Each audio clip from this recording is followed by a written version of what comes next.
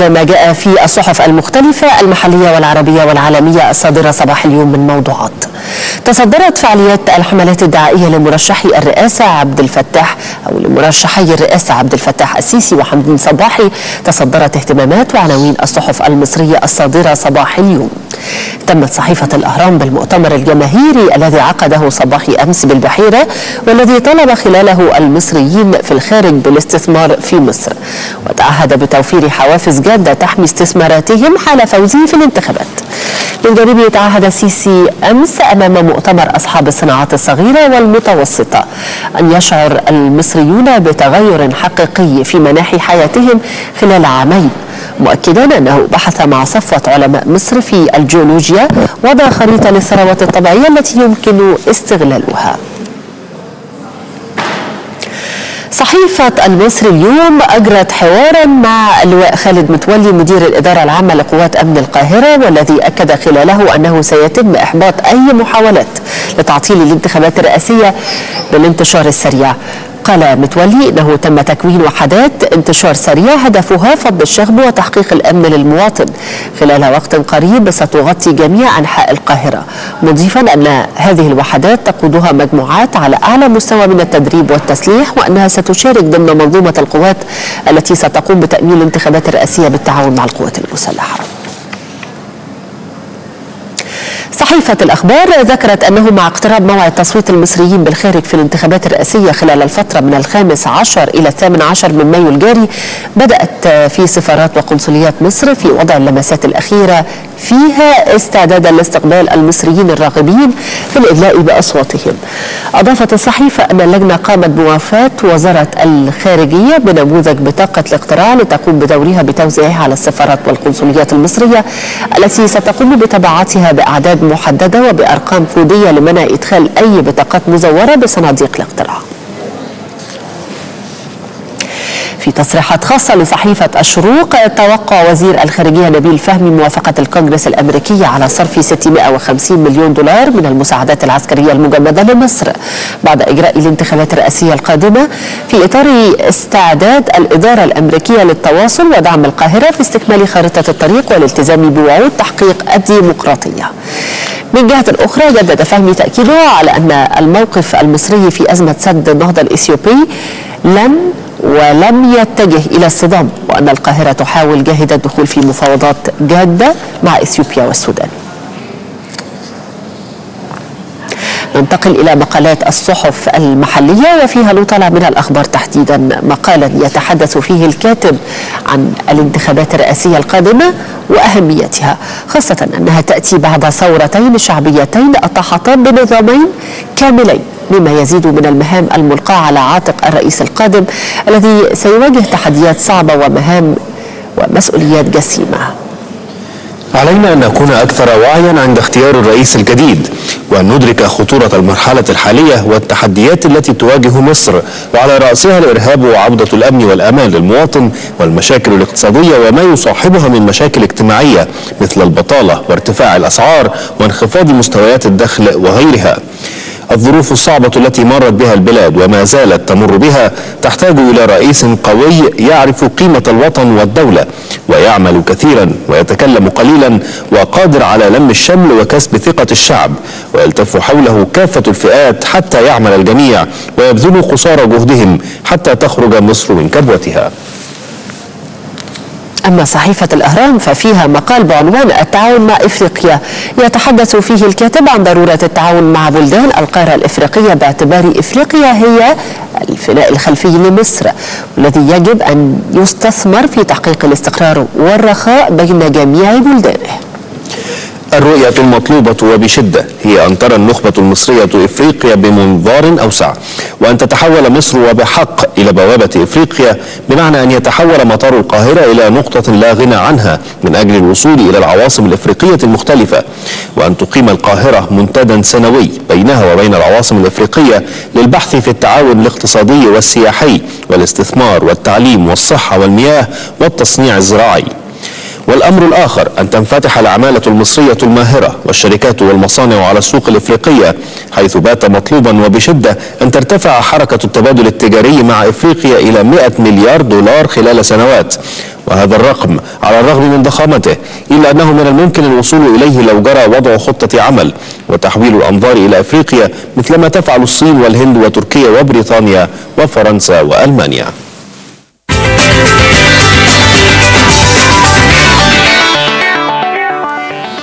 نتحول في جولتنا الصحفية إلى منشطات الصحف العربية حيث لازالت الأزمة السورية في صدارة الاهتمامات. نقرأ من الدستور الأردنية إسرائيل تعلن الجولان المحتل منطقة عسكرية مغلقة. فقد أعلن الجيش الإسرائيلي أمس منطقة معبر القنيطرة بين سوريا والجزء الذي تحتله إسرائيل من هضبة الجولان منطقة عسكرية مغلقة خشية أن يؤثر القتال الدائر حاليا بين مقاتلي المعارضة السورية وقوات النظام في سوريا على هذه المنطقة بأسرها. الأوضاع في الأراضي المحتلة تبعتها صحيفة الخليج الإماراتية وكتبت مستوطنون يدنسون مسجد النبي يونس بالضفة وسط حماية مشددة من جنود الاحتلال بزعم حقهم الديني فيه. ومواجهات عنيفة بين شباب فلسطيني مما أسفر عن جرحى في مواجهات بالضفة. وحملة شعبية لرفع الحصار عن قطاع غزة تتضمن سلسلة فعاليات شعبية ومؤسساتية داخل الأراضي الفلسطينية. مقتل 12 جنديا يمنيا في هجوم انتحاري عنوان تفاصيله كتبتها جريدة عمان التي كتبت أن تنظيم القاعدة الذي يواجه ضغوطا عسكرية شن هجوما انتحاريا ضد الجيش في جنوب شرق اليمن أمس مما أسفر عن مقتل 12 جندي. وذلك بعد أن حاول في وقت مبكر مباغتة نقطة تفتيش قرب القصر الرئاسي في صنعاء مما أدى إلى خسارته لثلاثة مقاتلين. وهو ما يزيد مع نجاح الجيش في استعادة مواقع للقاعدة في محافظتي شبوة وأبين الجنوبي الجنوبيتين. جريدة الحياة اللندنية ألقت الضوء على الأزمة بجنوب السودان وكتبت انهيار الهدنة يثير شكوكا في سيطرة سلفاكير ومشار على أنصارهما. الأوضاع بجنوب السودان عادت إلى المربع الأول بانهيار الهدنة بعد تبادل الحكومة والمتمردين اتهامات بانتهاكها هذا الانهيار أثار شكوك حول رغبة الرئيس سلفاكير مياردت وزعيم المتمردين رياك مشار في وقف إطلاق النار. الأمر الذي لن يحسم قبل لقائهما في أديس أبابا. المصالحة الفلسطينية لم تعد ضربا من ضروب الخيال وإنما هي ضرورة تحتمها ظروف الاحتلال الذي عانت ويلته أو عانى ويلاته الشعب الفلسطيني بكل طوائفه. والآن أدركت الفصائل المتناحرة أن التوحد هو السبيل الوحيد للخروج من النفق المظلم للأزمة الفلسطينية.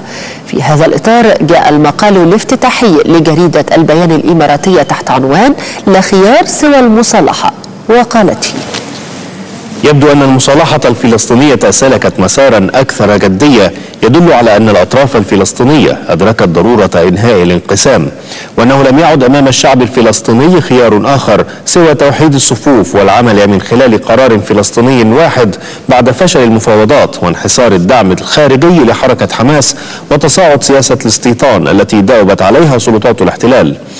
لقد جرب الشعب سنوات قاسية من الانقسام وكان المستفيد الوحيد هو الاحتلال الإسرائيلي وحكومة أقصى التطرف اليمني التي يقودها نتنياهو ولم تكسب الفصائل الفلسطينية سوى تراجع دورها وانحسار شعبيتها.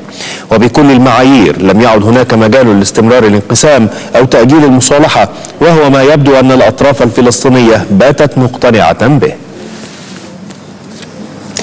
لا تزال الأزمة السورية تطغى على مقالات الرأي في معظم الصحف العربية لا سيما مع اقتراب الانتخابات الرئاسية المزمعة وسط تجاهل تام لمعاناة ملايين السوريين خارج حدود الوطن.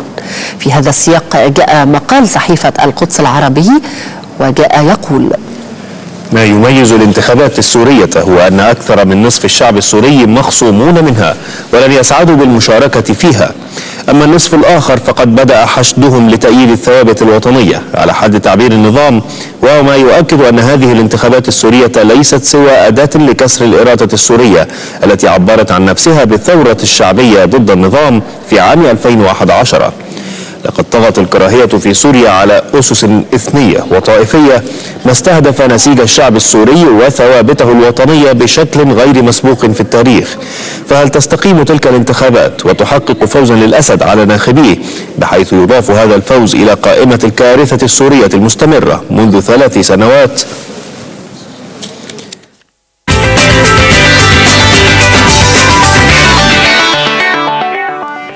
نتحول إلى الصحف العالمية ولا تزال الأزمة الأوكرانية تحتل صدارة هذه الصحف؟ ففي صحيفة واشنطن بوست الأمريكية وصل ألاف الأوكرانيين الإدلاء بأصواتهم في إطار استفتاء انفصالي أو انفصال شرق البلاد باعتباره الغرب وكييف غير شرعي. الذي كان يعتبره الغرب غير شرعي والذي قد يؤدي إلى انفصال جديد في هذا البلد الذي يعاني اضطرابات شديدة.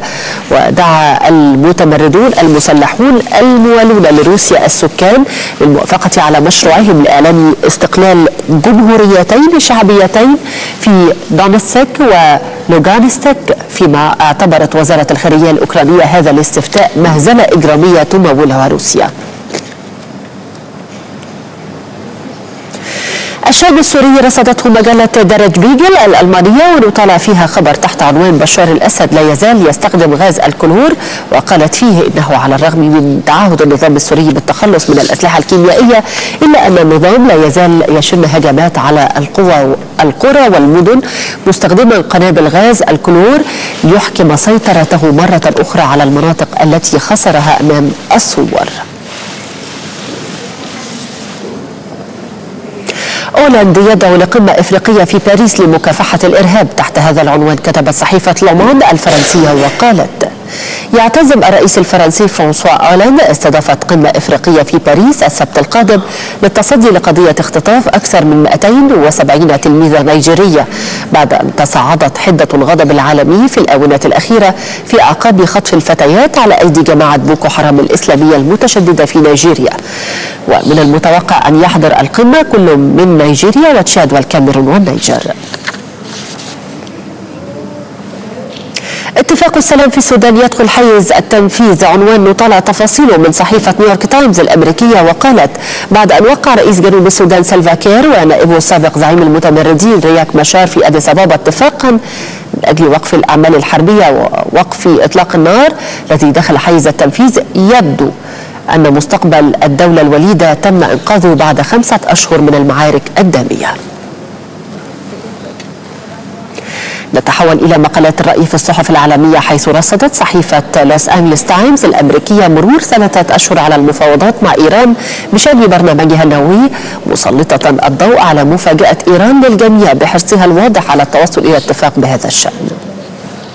حاول المفاوضون الإيرانيون الالتزام بجميع تعهداتهم في ضوء اتفاق نوفمبر المؤقت مقدمين عددا من التنازلات حول بعض نقاط الخلاف الرئيسية وبدون أي نوع من المشاحنات التي سادت طيلة عقد كامل من المفاوضات غير المثمرة. نهاية الجولة الصحفية شكرا لكم وإلى اللقاء.